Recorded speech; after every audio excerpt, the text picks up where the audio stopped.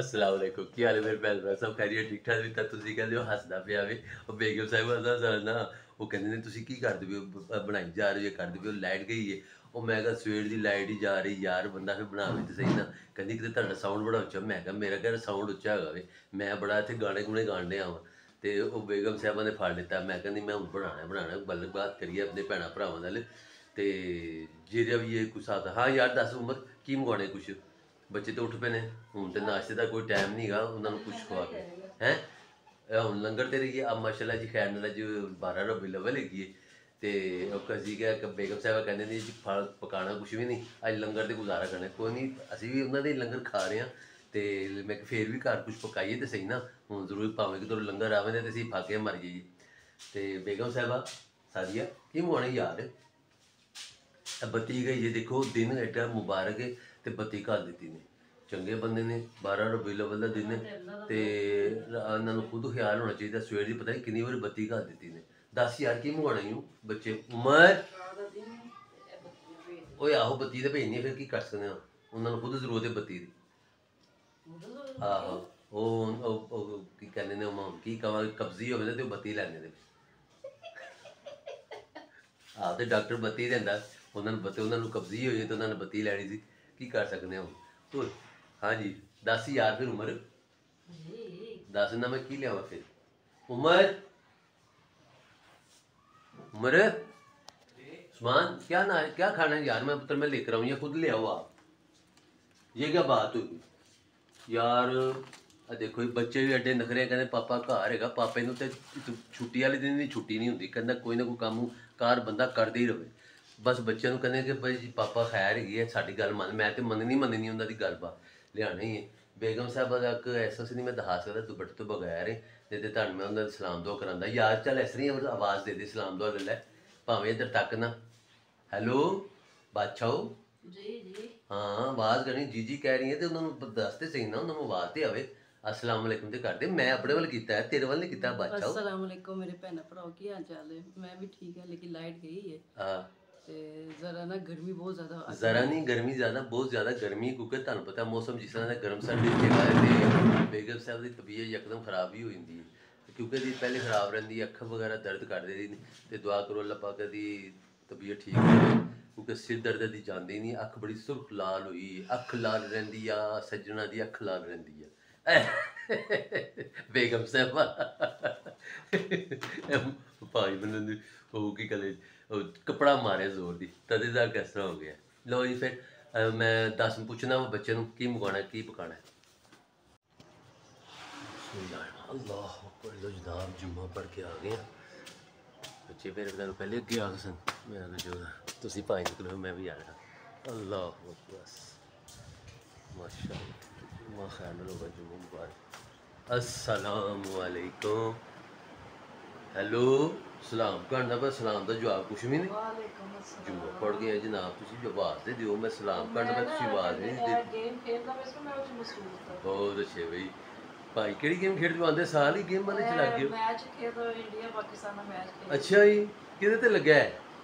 ਕਿਹਦੇ ਤੇ ਲੱਗੇ ਨਹੀਂ ਖੇਡਦਾ ਪਿਆ। ਖੇਡਦਾ ਪਿਆ ਵੀਡੀਓ ਗੇਮ ਹੈ? ਹਾਂਜੀ। ਬਹੁਤ ਅੱਛੇ ਜੀ।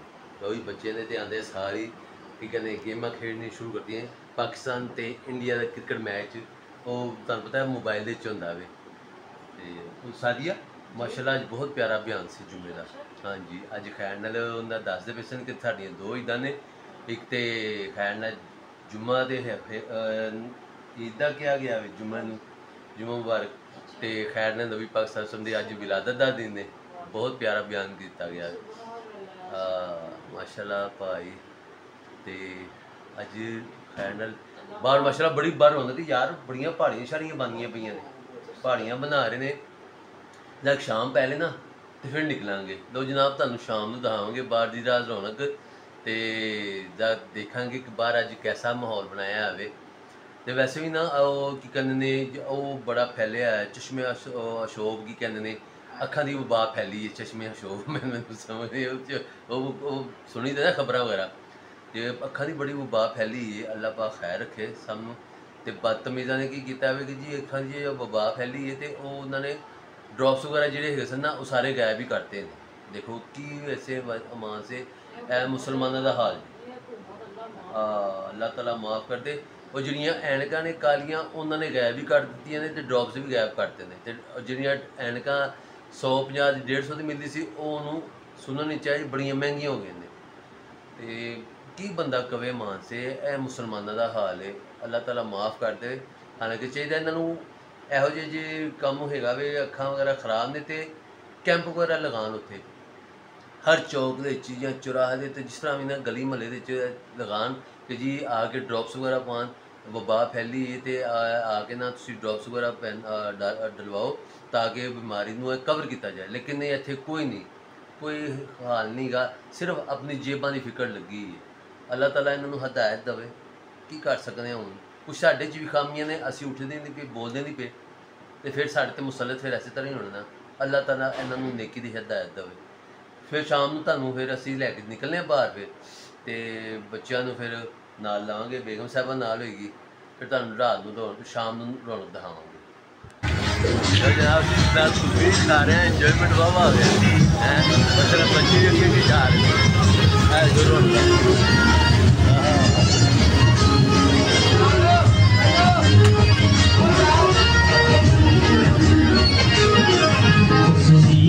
ਜ਼ਰੂਰ जब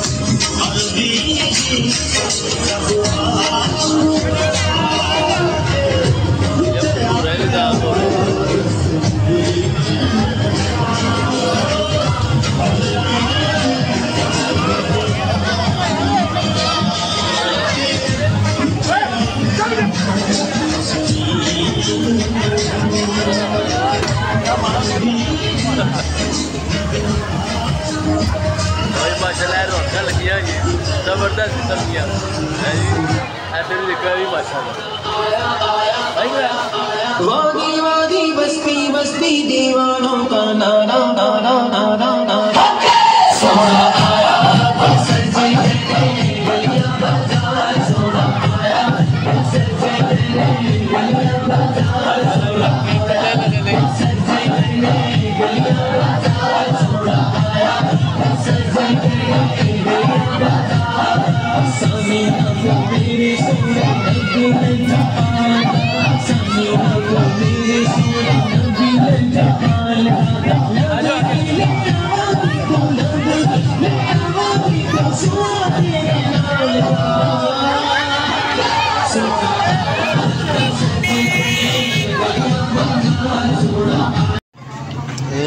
पहाड़ियाँ जी।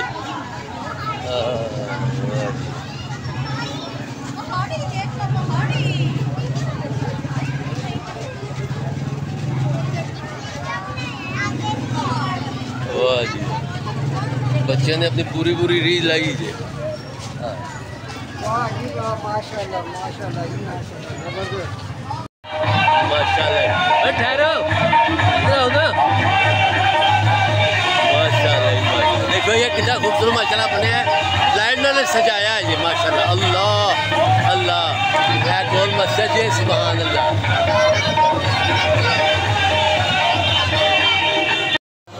लो माशाल्लाह। बच्चे ने पहाड़ियाँ सजाइया ये माशाल्लाह।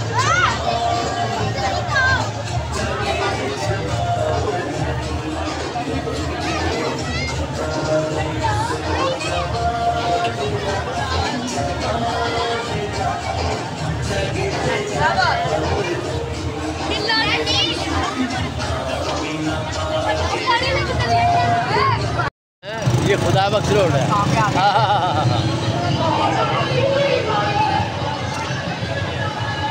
उमर समान इधर आ जाओ। लो ये बाज़ार, माशाल्लाह सजिया खुदा बख्श रोड। पीछे साढ़े नारिया चौक है वे असी जा रहे अगे उधर बड़ा रश है, मैं ता करके उधर नहीं गया। ऐसे तुम इधर ही दिखा रहे जी सुबह अल्लाह माशा अल्लाह। हर जगह पर रौनक पर रौनक ही। लो ये ਖਾਨਾ ਕਾਬਾ ਤੇ ਰੋਜ਼ਾ ਰਸੂਲ ਬਣਿਆ ਹੈ, ਤੁਹਾਨੂੰ ਦਿਖਾਉਂਦੇ ਆ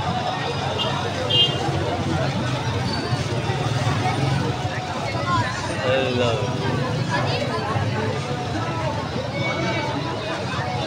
ਖਾਨਾ ਕਾਬਾ ਜੀ। ਨਾ ਖਾਨਾ ਕਾਬਾ ਰੋਜ਼ਾ ਰਸੂਲ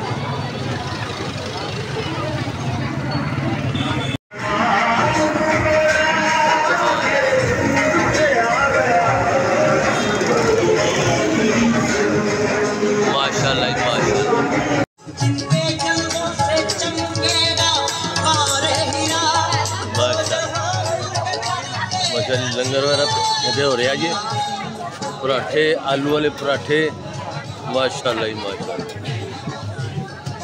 ਵਾਹ ਜੀ ਦੇਖੋ ਮਾਸ਼ਾਅੱਲਾ ਤਿਆਰੀ ਹੋ ਰਹੀ ਹੈ ਆਲੂ ਵਾਲੇ ਪਰਾਠਿਆਂ ਦੀ ਤੇ ਲੰਗਰ ਮਾਸ਼ਾਅੱਲਾ ਵਾਵਾ ਇੱਧਰ ਦੇਖੋ ਆਵਾਮ ਵੀ ਖਲੋਤੀ ਹੈ ਇੱਥੇ ਤਾਂ ਬਿਠਾ ਕੇ ਆਰਾਮ ਨਾਲ ਸਕੂਨ ਨਾਲ ਖਵਾ ਰਹੇ ਨੇ ਮਾਸ਼ਾਅੱਲਾ ਹੀ ਮਾਸ਼ਾਅੱਲਾ ਇਹ ਦੇਖੋ ਜੀ ਮਾਸ਼ਾਅੱਲਾ ਕਿੱਡਾ ਖੂਬਸੂਰਤ ਜ਼ਮੀਨ ਦੇ ਉੱਤੇ ਬਣਾਇਆ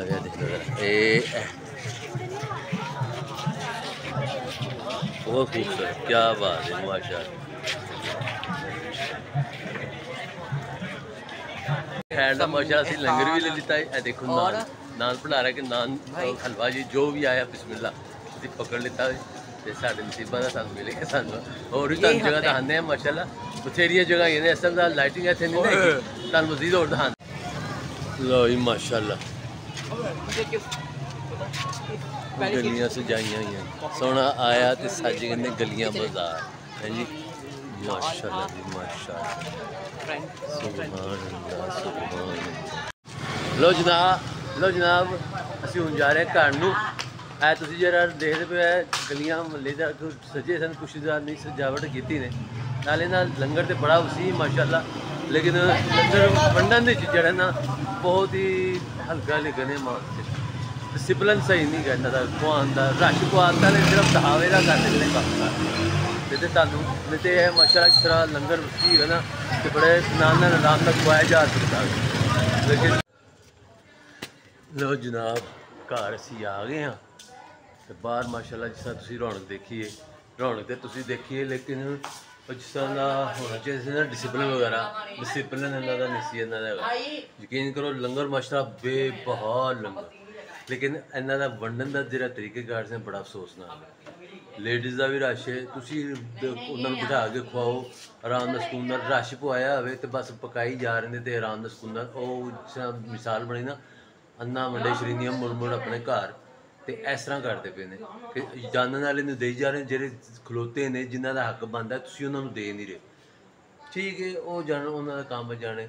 ਬਹਰਾਲ ਇਨਸ਼ਾਅੱਲਾ ਤਾਲਾ ਫਿਰ ਤੁਹਾਡੇ ਨਾਲ ਫਿਰ ਮੁਲਾਕਾਤ ਹੋਗੀ ਤਾਂ ਸਬਸਕ੍ਰਾਈਬ ਕਰੋ ਲਾਈਕ ਕਰੋ ਸ਼ੇਅਰ ਕਰੋ ਤੇ ਦੱਸਣਾ ਸਾਨੂੰ ਫਿਰ ਜ਼ਰਾ। ਠੀਕ ਹੈ। ਲਓ ਜੀ ਫਿਰ, ਅਸਲਾਮੁਅਲੈਕੁਮ।